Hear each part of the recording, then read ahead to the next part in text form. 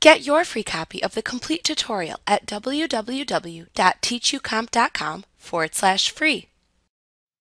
When viewing a web page in Microsoft Edge in Windows 11, you can mark the web page as a favorite web page by saving it into your favorites list in Microsoft Edge so you can easily find and view it again later.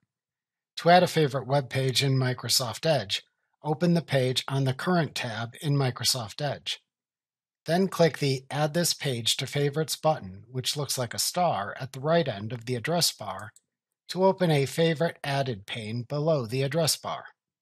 The name of the web page appears in the Name field in the Favorite Added pane.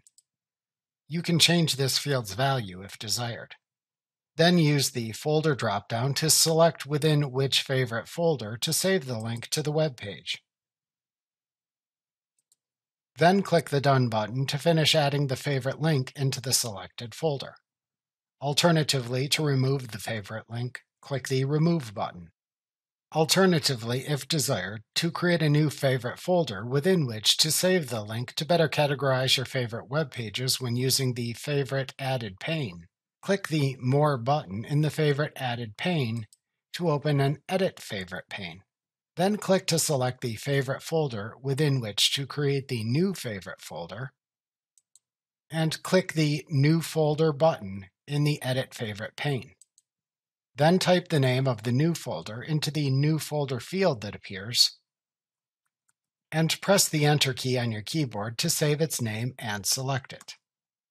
To save the link into the selected favorite folder in the Edit Favorite Folder pane, click the Save button at the bottom of the pane. To edit or remove a web page you added as a favorite in Microsoft Edge, open the page you saved as a favorite. Then click the Edit Favorite for this page button, which looks like a filled blue star at the right end of the address bar, to open the Edit Favorite pane below the address bar. To remove the favorite, click the Remove button in the Edit Favorite pane. Alternatively, to edit the favorite, change its name and or folder value as desired in the Edit Favorite pane, and then click the Done button. Like what you see? Pick up your free copy of the complete tutorial at www.teachucomp.com forward slash free.